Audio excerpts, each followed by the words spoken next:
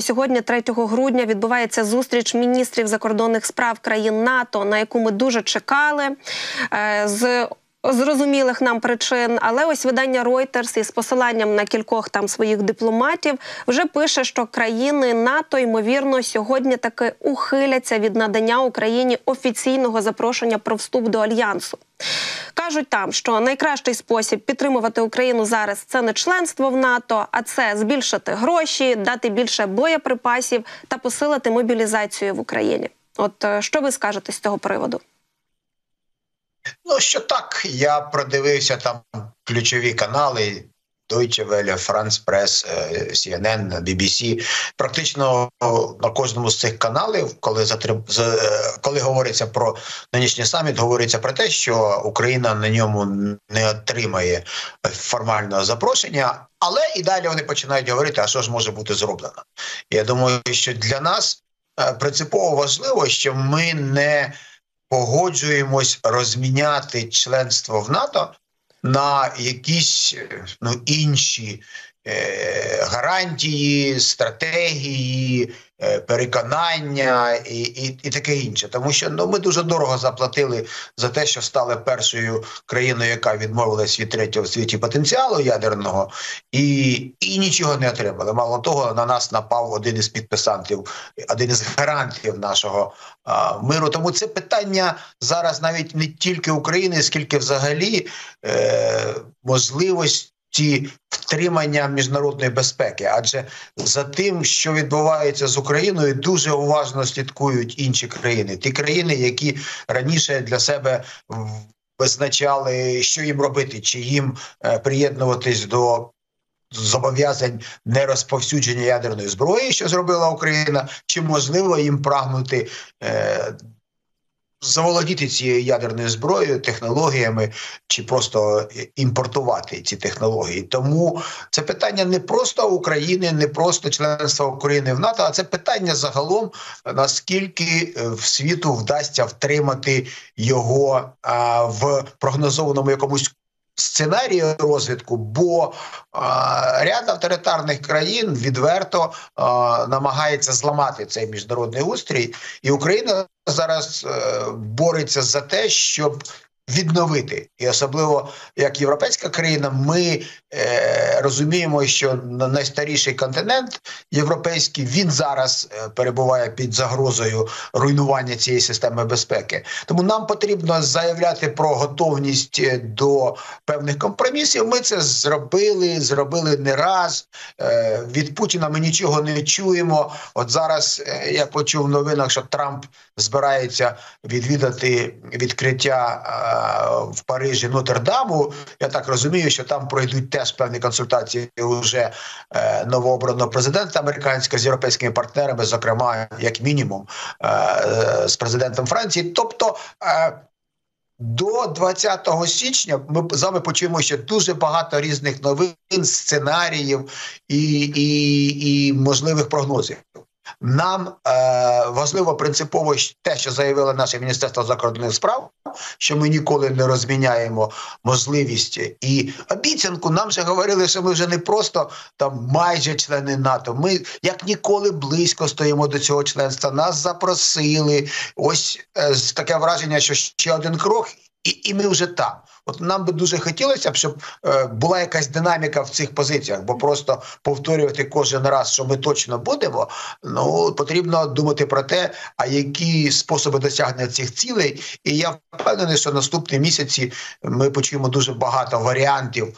Е, того, яким чином Україна може отримати і перспективи членства в НАТО, і переконання і гарантії того, що Росія після охолодження конфлікту, який схоже війни цієї, який схоже вже назріває, не буде мати можливості ще раз напасти на Україну чи на будь-кого із європейських союз із сусідів. Угу.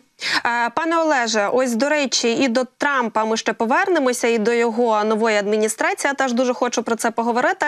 Зараз лише маленька ремарочка, тому що буквально кілька хвилин тому вже з'явилися перші заяви від НАТО. Зокрема, генеральний секретар НАТО Марк Рюте ось кілька хвилин тому заявив, що партнери чують заклики України щодо членства в НАТО та не відступають від планів. Однак на цьому засіданні альянсу мають іншу мету.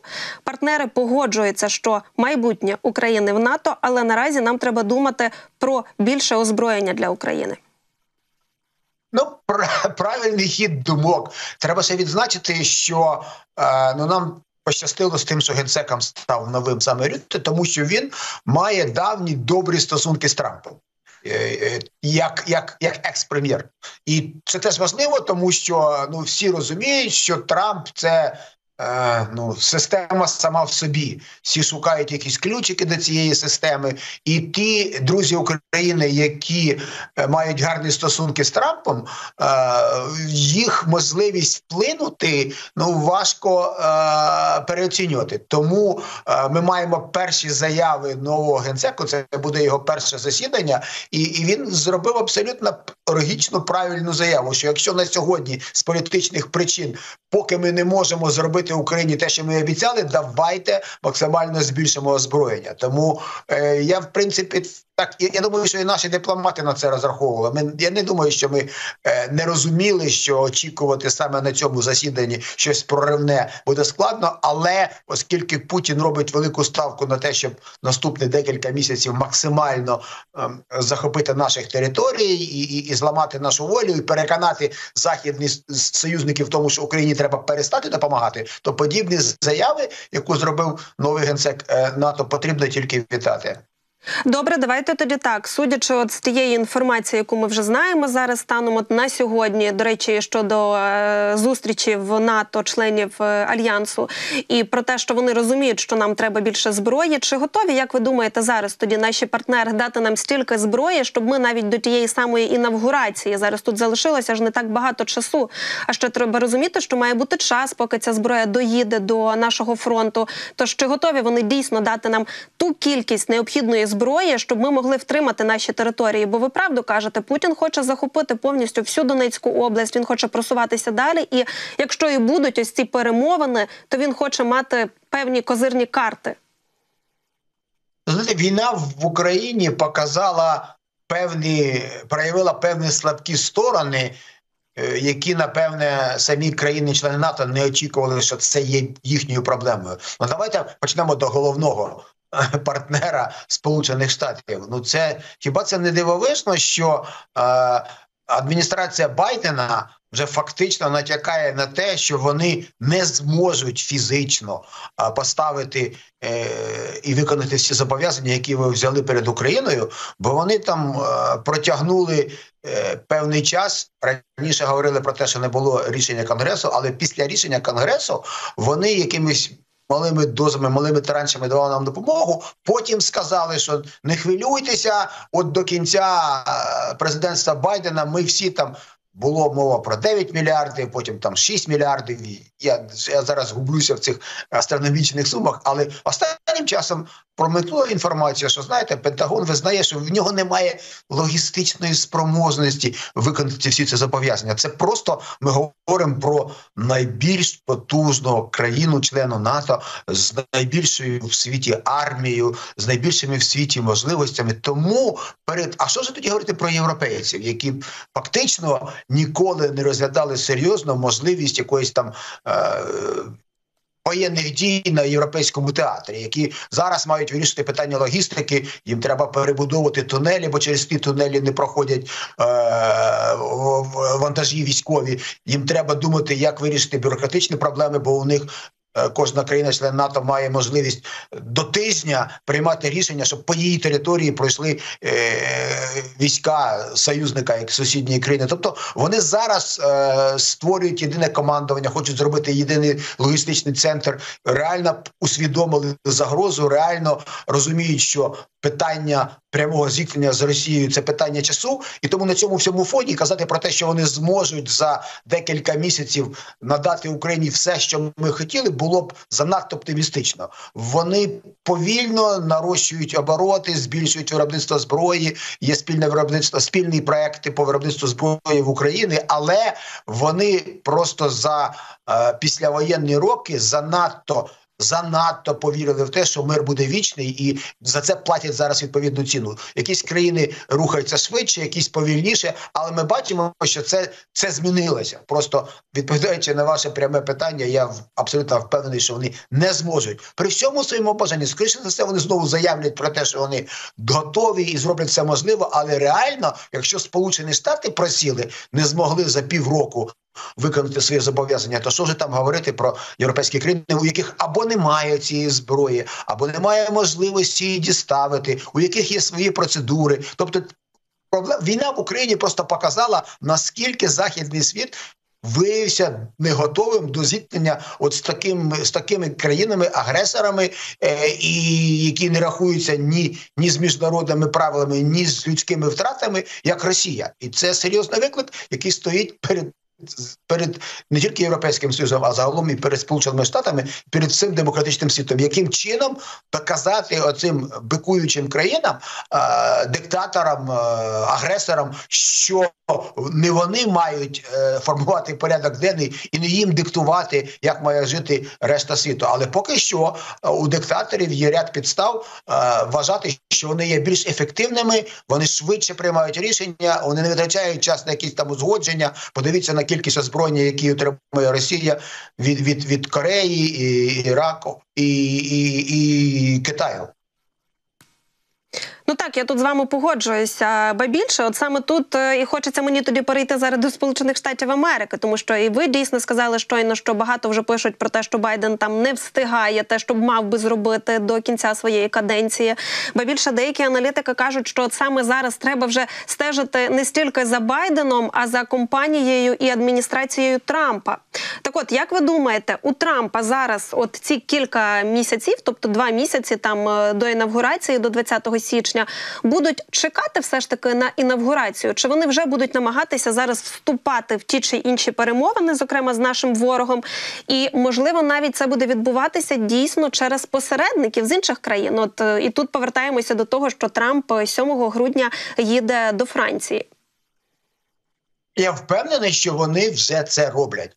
Мало того, вони публічно заявляють, зокрема, звернулися до там ситуації е, в Лівані, в секторі Газа, і звернулися до всіх учасників цього конфлікту з тим, що на момент інаугурації Трампа там все було тихо і спокійно щоб конфлікт, який мав е, в принципі була перспектива, що він просто зірве весь близь, близький схід, вже зараз.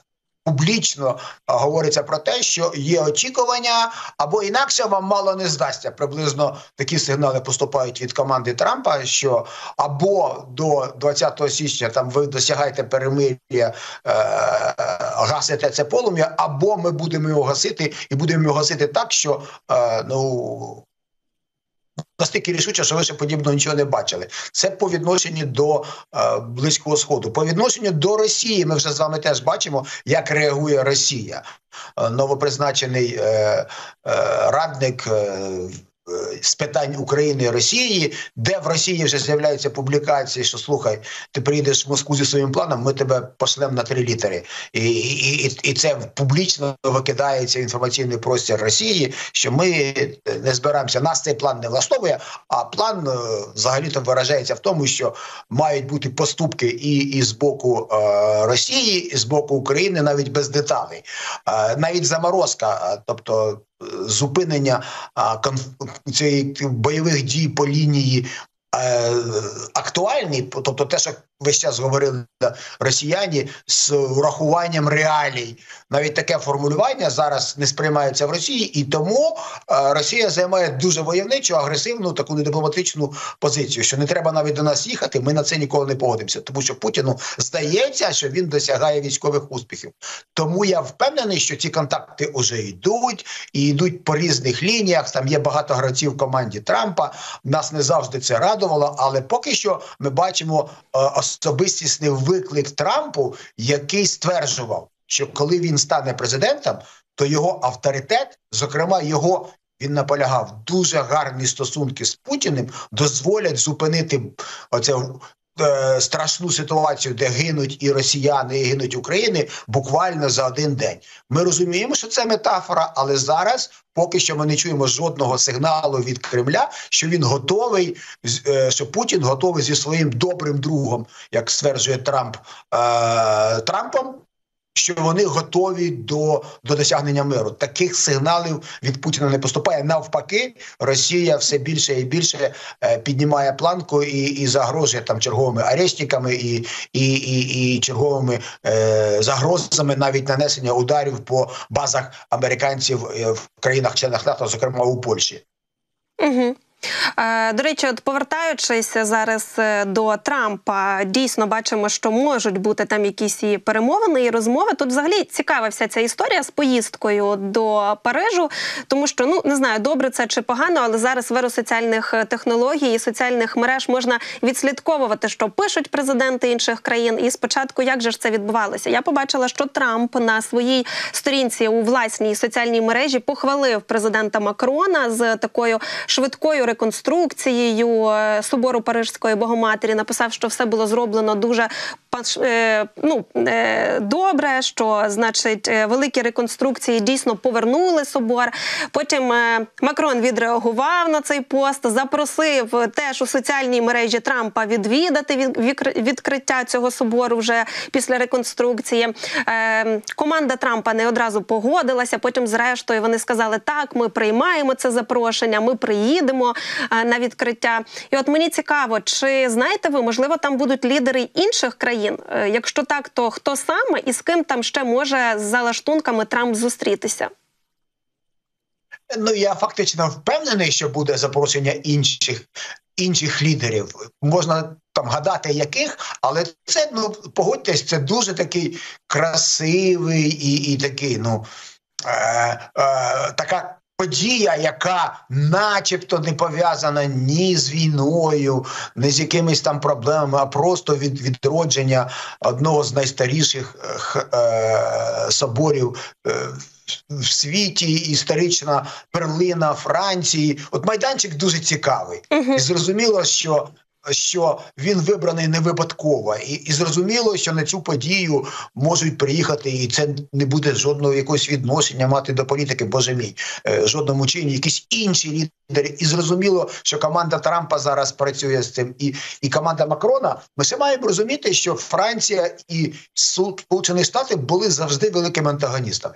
Що Франція з моменту створення НАТО то входила, то виходила е, з цього альянсу. Потім в об'єднаній Європі, от французькі дипломати завжди були такою ну проблемою великою. Вони завжди виступали е, з такою більшою е, самостійністю, автономністю Європи. Саме французька ініціатива була про створення своєрідної європейської системи безпеки, яка б б НАТО з непередбачуваними сценаріями поведінки Трампа. Тому зрозуміло, що це ще і підібрана країна яка бо Німеччина зараз Олаф, який прийшов до нас з чемоданчиком, він зараз стоїть перед виборами. Перспективи його політичні примарні. Дуже він його популярність там рекордно низька. Макрона теж життя нелегке. У Макрона очікується сьогодні.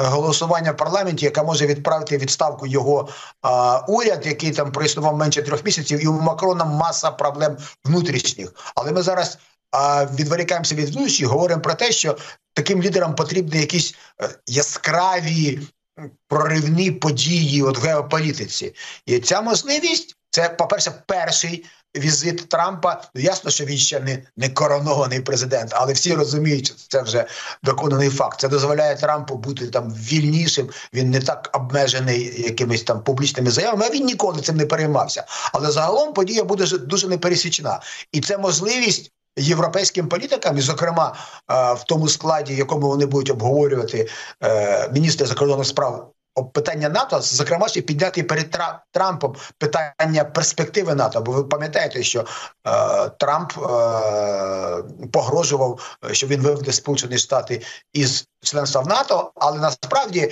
як він казав, він вимагав, щоб е, країни-члени НАТО і Європейського Союзу нес- несли відповідні військові витрати, а не е, відчували себе безпечними за рахунок Сполучених Штатів. Тому цей візит в усіх відношеннях е, він е, вчасний, він дуже красивий з точки зору. Е, Ну, самої картинки події, самого опису події, і, і він вчасний, бо це відбувається до задовго до 20 січня, і вже зрозуміло, що на, на, на, на особистих двосторонніх зустрічей лідери країн європейських і Трамп будуть говорити саме про майбутню конструкцію світової безпеки після його е, інаугурації. Угу. Ну так, дійсно, тут важко не погодитися, що от ви сказали, що, начебто, така не політична зовсім подія, не військова подія, там не саміт, не зустріч е, вищого військового Ага. керівництва. Але ми ж розуміємо, що і Трамп туди не круасани їде куштувати. Тобто, ми розуміємо, що саме на таких зустрічах говорять от про важливе. І дійсно, я думаю, там будуть говорити і про Україну, і про війну в Україні. Ну і мабуть, і про Путіна теж згадають. Бо ми розуміємо, що час до інавгурації. Трампа спливає. Ну а там же ж ми пам'ятаємо цікаву заяву про закінчення війни. Тож мені здається, що найцікавіше ще попереду. Так, я абсолютно в цьому впевнений. Я абсолютно в цьому впевнений, і це насправді е, ну важлива подія, бо важко було собі уявити, а який там може бути ну. Яка там могла б можливість е, попрацювати з Трампом, так як Орбан бігти туди, і щось там е, наші потити е, в форматі один на один, ну, це, це не наша справа. Те, що там зустрічалися і Борис Джонсон, і інші політики, е, це теж ну так, це візити в резиденції, якісь розмови, а то в серці Європи, бо Європа це ж. Вона Франція в історії там новітньої Європи відіграє важливу роль встановленню демократії, ці знамениті лозунги французької революції. Це, це все дуже символічно. І, е, і те, що Трамп сюди приїжджає, дозволить йому у цьому неформальному е, статусі реально проговорити, відчути напряму і європейським лідерам донести позицію Європи і спробувати е, підготувати до того, що не буде якихось несподіваних кроків після нового року. І дійсно Україна не може не бути е, присутньою на цих розмовах, тому що для Трампа це особистісний виклик. Він дуже багато уваги приділяв, дуже багато разів повторював, що тільки він може зупинити всі війни в цьому світі, і, і тільки він може посадити за стіл там президентів України і, і, і Росії, і, і зупинити цю війну. І причому він сказав, що це буде справедливий мир, бо це дуже важливо. Мир мог бути різним. Він сказав, що умови Путіна, які Путін заявив там е, напередодні, е, вони неприйнятні, несправедливі. Угу. Ну так, ми пам'ятаємо ці його заяви. Що ж, будемо тоді дивитися, як розгортатимуться події далі. І звісно, про все будемо розповідати українцям. А вас будемо запрошувати ще долучатися до прямих ефірів і аналізувати це все. Дякую вам, бережіть себе і бережіть Україну. Дякую вам, гарного вам дня. Навзаєм, пане Олеже, а всім, хто нас дивиться, я нагадую, що щойно на прямому зв'язку зі студією був Олег Рибачук, це голова аналітично-адвокаційної організації Центр спільних дій.